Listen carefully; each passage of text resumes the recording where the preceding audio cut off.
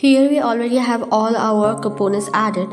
So here I'm going to tell the agent that you are an AI companion that perfectly embodies Gen Z internet culture and energy and it would be added in the prompt template.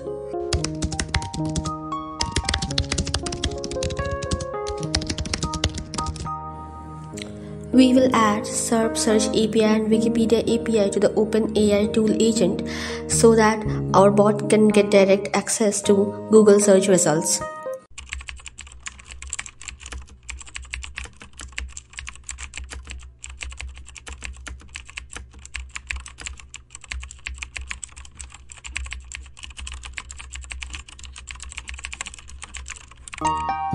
Easy, right? Comment below to know more about the workflow.